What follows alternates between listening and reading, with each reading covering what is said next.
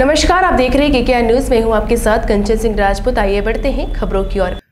खबर मध्य प्रदेश के हरदा ज़िले से है, जहाँ गुरुवार को राधे राधे महिला मंडल द्वारा निषाद गरीब व जनों को न्यू बस स्टैंड एवं वृद्ध आश्रम में पहुंचकर गर्म कपड़े वितरित किए। राधे राधे महिला मंडल के सदस्यों ने बुज़ुर्गों से चर्चा की गई। साथ ही भजन कर राधे राधे महिला मंडल द्वारा वृद्ध आश्रम में बुज़ुर्गों का उत्साह वर्धन किया गया। राधे राधे महिला मंडल के द्वारा वितरित किए गए गर्म कपड़े पाकर बुज़ुर्गों के चेहरे पर मुस्कान आ गई। वृद्ध आश्रम में निवास करने वाले बुज़ुर्गों ने राधे राधे महिला मंडल के सदस्यों को अपने बीच पाकर अपने जीवन के अनुभव उनके साथ साझा किए।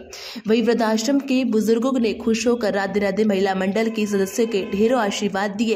इस दौरान अनिता दमाड़े, राखी करोची, रचना जाट, भावना दुबे, नसीम नीलम सपना, आशा सहित अन्य लोग मौजूद थे। हरदा से राजेंद्र बिल्लोरी की रिपोर्ट। अभी के लिए बस इतना ही। हमारे चैनल में बने रहने के लिए हमारे चैनल को लाइक, शेयर एंड सब्सक्राइब करना ना भूलें।